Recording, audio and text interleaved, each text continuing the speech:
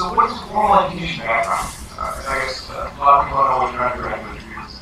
Uh, so I was at UCLA in political science and then uh, Harvard Law School. Uh, so you don't have, uh, you wouldn't consider yourself an expert in sociology? I, I mean, I, I don't consider sociology a particularly expert field, but go ahead.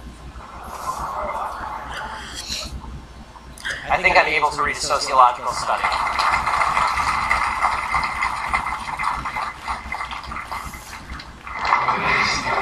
Study, but uh, so you're not necessarily Yeah, there are lots, there are lots of fields to study. I'm getting at is there's a lot of topics. I know a lot less about welding than I do about sociology.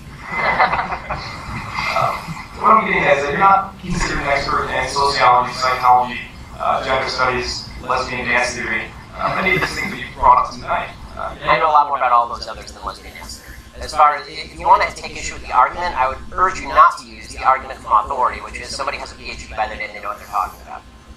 That's a dumb argument. what I'm trying to get at is the fact that do you have any other further education in any of these topics or any of these fields? I don't need to, I don't need a, a seven-year degree in sociology to know what I hear.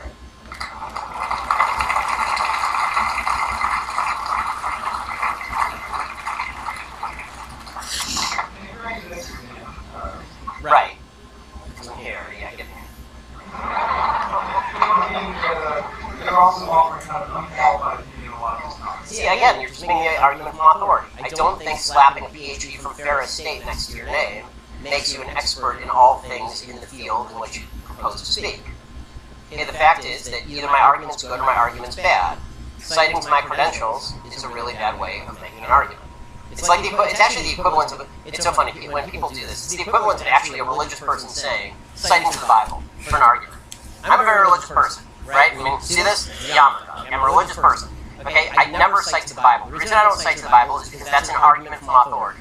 Okay, you may not believe the authority to which I'm citing.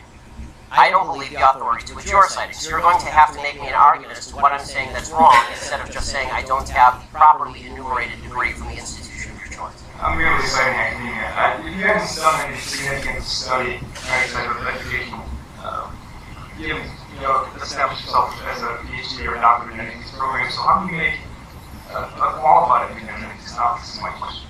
Because I have read the studies and I can have an opinion on them. And that's your opinion and mine was just saying. Yes, that was my opinion.